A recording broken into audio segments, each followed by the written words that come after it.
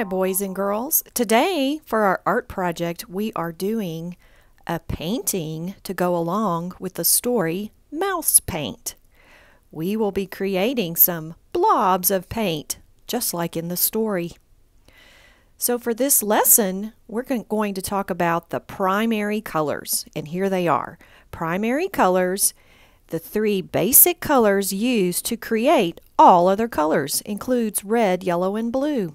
So red, yellow, and blue are called the primary colors. But first, we need to put our name on the back of our paper using a pencil. Now, on the front of the paper, that's where we'll be using the paint. But let's just review for a minute.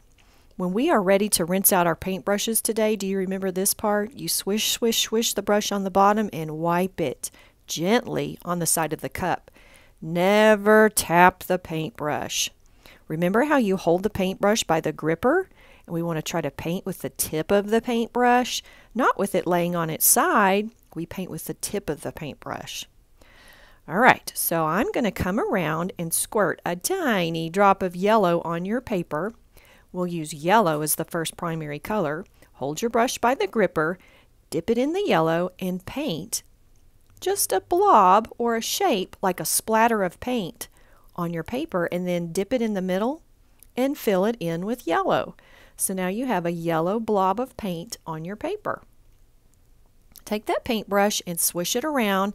Don't pick your cup up. I am picking my cup up in the video so you can see it, but you need to leave your cup on the table. And remember to wipe it on the side. Now if you swipe it on a piece of paper, you can tell if it's clean or not. If it's clean, then you're ready for the next color. We're going to do red second. So I will be putting a little blob of red. Dip your brush in. Paint your shape. This is called an organic shape. Now notice here, I ran out of paint. I didn't have enough to fill it in. But I can magically make more paint if I dip my brush in the water. It's going to make my red paint go a little bit further. So if you don't have enough paint to fill in your shape, what do you do? You just dip the tip of your brush in the water and that is going to make that paint flow a little bit better. So I'm ready to rinse. Swish, swish, wipe it gently on the side, test it on the paper to see if it's clean.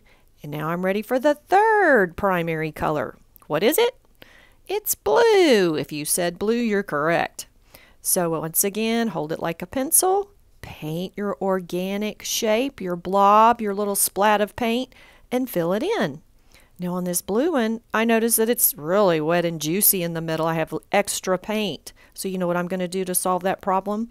I am going to make this paint blob a little bit bigger. So if you have enough paint in the middle, you can make it bigger. And remember, if you don't have enough paint, what do you do? You add a little tiny bit of water.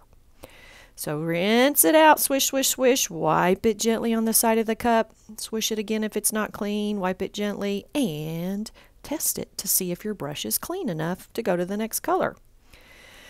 Well, now it's time for the fun part. We're going to do a little color mixing. I'm going to take yellow and red and put it on your paper, and you are going to stir them together to see what happens. Look what it created. It created a new color. This is called a secondary color. Orange is a secondary color. It's what you get when you mix yellow and red together.